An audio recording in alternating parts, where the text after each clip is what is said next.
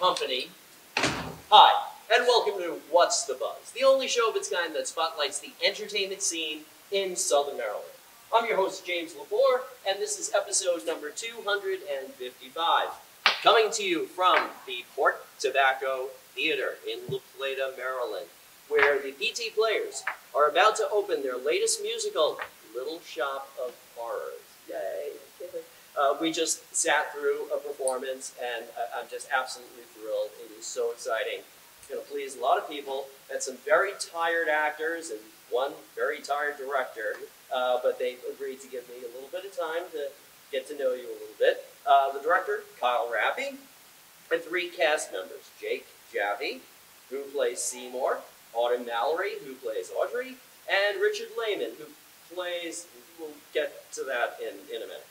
Uh, most people are familiar with the 1986 dark horror comedy, which, interestingly enough, was directed by Frank Oz, which a lot of people don't realize he was the puppeteer and voice behind Miss Piggy. I think it's interesting.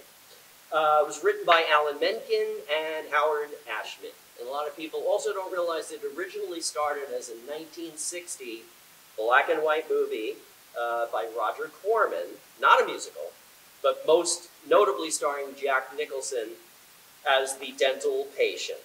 I give him a lot of credit to go to Orin as his dentist.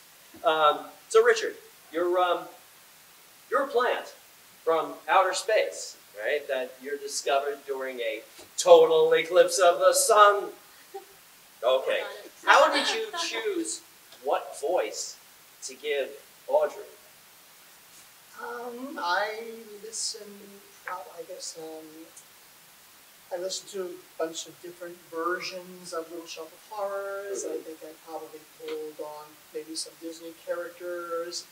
There's probably a little bit of, um, um, from Rocky Horror Picture Show, the, what's the sweet transvestite, what's his name? Uh, Oh, Frank-N-Furter. Frank-N-Furter, Right. yes, I might do a little bit of that. So I kind of pulled from a bunch of different voices and kind of meshed it all together.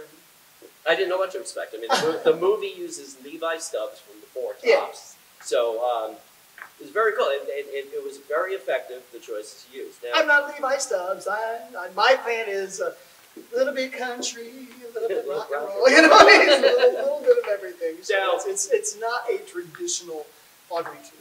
knowing you, you're a massage therapist. Uh, you have dan- you hold dance and kettle classes.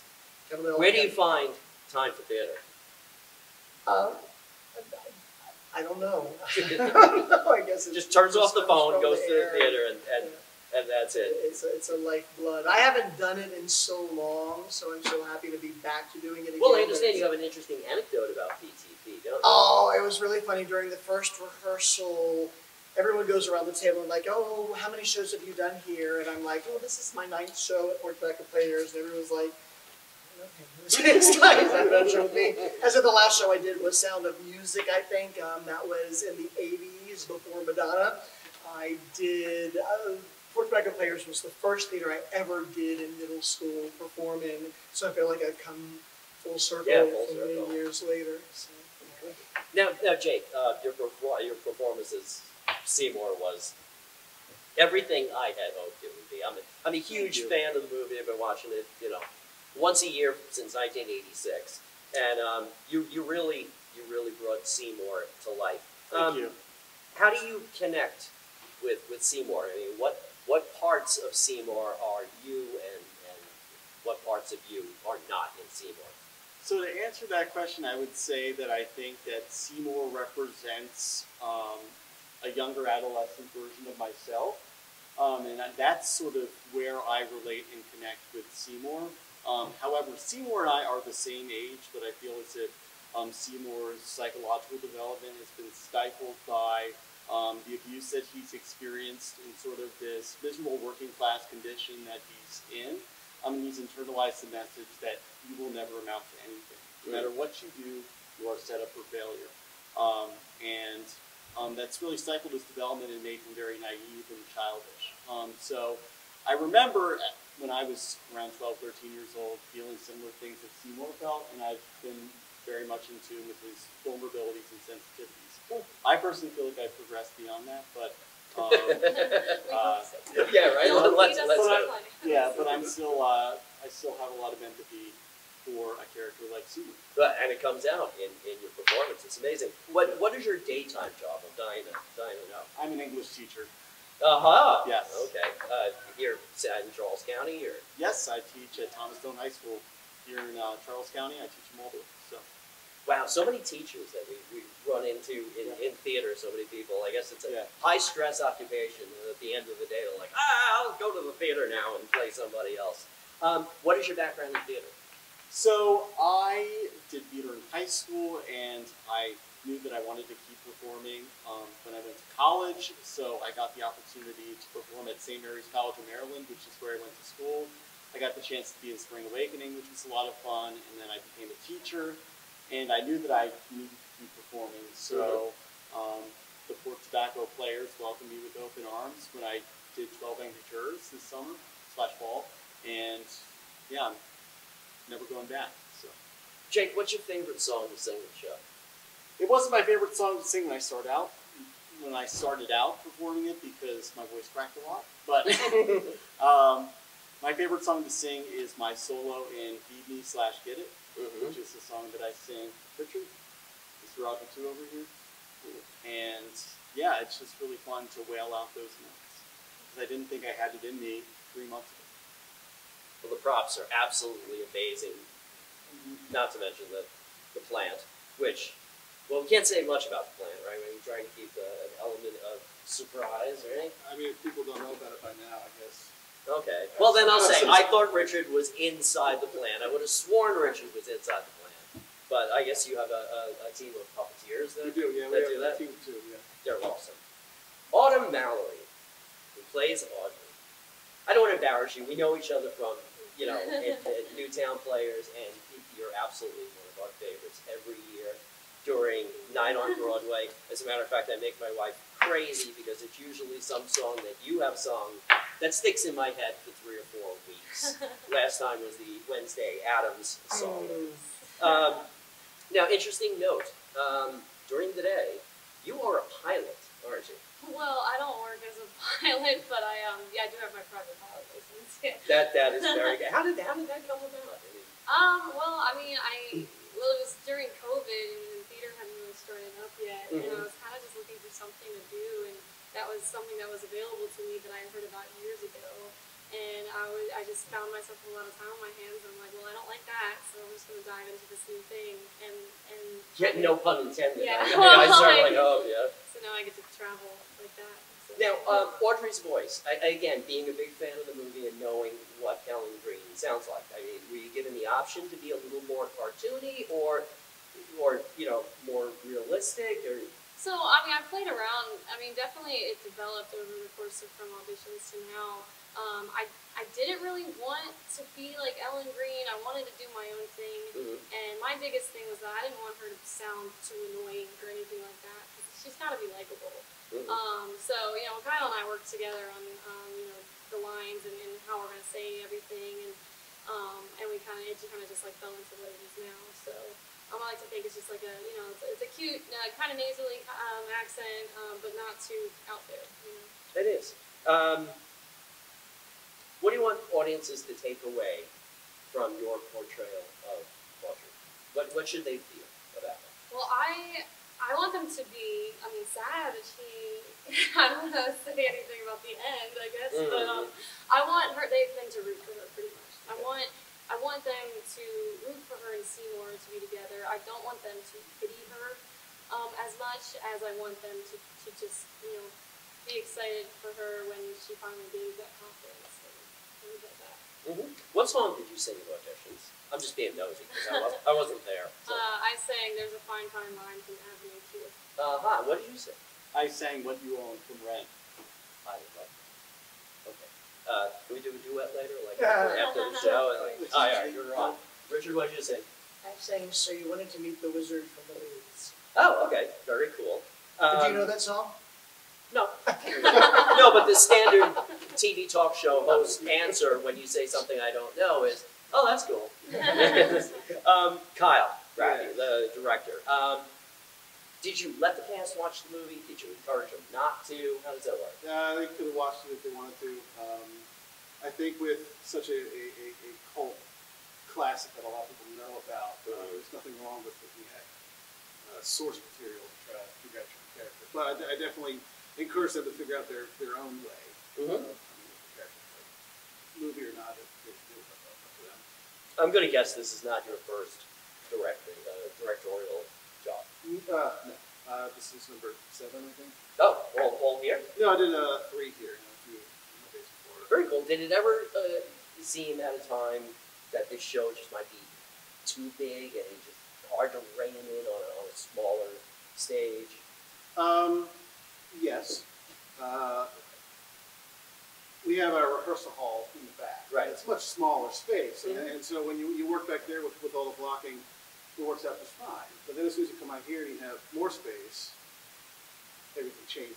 And then Mhm. you throw walls up, and everything shrinks some more. And then you put a plant, then everything changes again. So just keeping adding elements week after week after week Mhm. uh, definitely made it challenging to adapt. Now, speaking of the plant, uh, was that created here at PTP, or is that something we, that is we, we rented. rentable? Yeah. I, Um, I guess they probably rent them all out for every company that's doing Little Shop of Horrors, right? Yeah, uh, every production staff member I have asked me, I'll do it if I don't have to make the plan. Mm-hmm. And so I said, we're gonna rent it, so they all took Okay. Um, I'm from New York, so I was listening for little uh, detections of New York accent. Were, were the actors instructed to sound like 1950s, 60s New Yorkers, or is that just come out in the dialogue? Um, and some of it, some of the dialogue kind of lends itself to Mhm. a bit of that accent, uh, but it wasn't a, a, a huge emphasis for us. Okay. Uh, another thing I'm interested in is the three actors. What did they do that signaled that, oh, that's definitely Seymour, that's definitely Audrey, that's definitely a large growth plant? Um, I mean, there's there's a lot of, uh, of things that I could probably point to, but I, think just each of their energies that they brought to auditions and some of the callbacks was just. I mean, you sit there watching and just go, okay, that's it.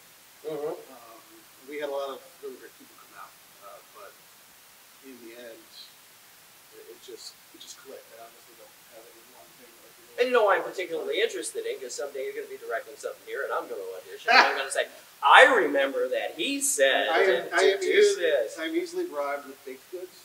Oh, okay, Uh, good. So you know. Uh, no, no problem. We always have uh, cheesecake in the house. Good. Um, was it a difficult show to direct? Uh, yes and no. Uh, I thought, um, obviously technically challenging, it, was, it certainly was, but everybody worked so well together and worked so hard that despite all the stuff that was going on, especially in, in January and December, we had to start masking up during rehearsal like that. Um, everybody put in so much effort and just enjoyed working with each other that it, it made it a whole lot easier. Okay.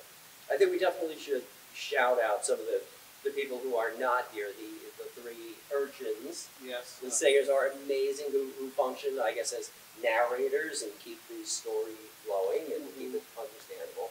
Absolutely amazing. And wait till you meet Thorin the dentist. He's, that's quite a quite a character. And you've got terrible taste in men. Only in theater, not not in real life, of course. Um, nine piece band, right? In the in the pit, or I think it's nine or ten. I think it's nine. Yeah. right. Absolutely, absolutely uh, terrific, terrific band. Um, before I let this go, um, are there two different endings that you can buy when you when you're shopping for the script, or is No. this the way?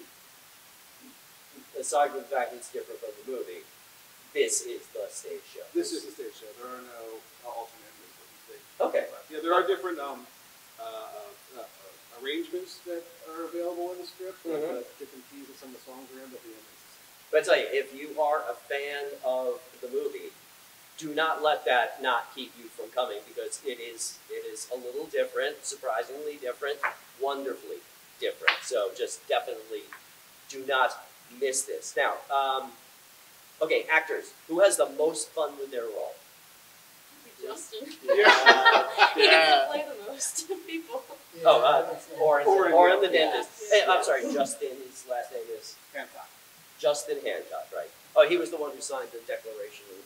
Never Sure, mind, yeah. I guess. I guess not. Uh, what's going to surprise audiences the most about the show? The vocal talents. I'll go along with that. At least I think so. When I got to rehearsals and I heard all these wonderful voices, I said, wow, this is a production of Little Shop of Horrors. Mhm.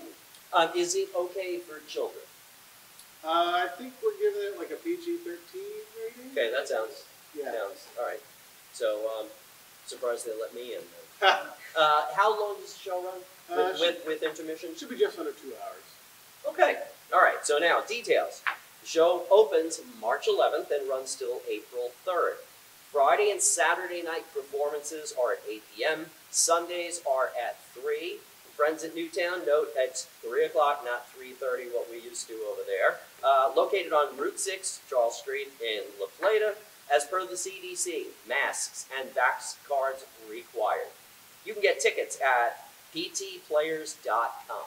Adults are twenty dollars. Seniors over sixty. That wouldn't be me. No, no, no. Uh, students and military with your ID is seventeen. That's it. I want to thank my sponsor, Purple Post Real Estate. Give them a call. You can work with me. Uh, my producer, who does everything, and my wife, Heather Lepore, and our creative consultant, magician Reggie Rice. Um, thank you for Report Tobacco for having us. Please like, share, comment, subscribe on Facebook and YouTube. You know, do all those things so you don't miss any coverage of any one of these great shows that we cover in any number of different theaters. Uh, we appreciate it more than you know. So, you, my friends, have been watching What's the Buzz. Take care.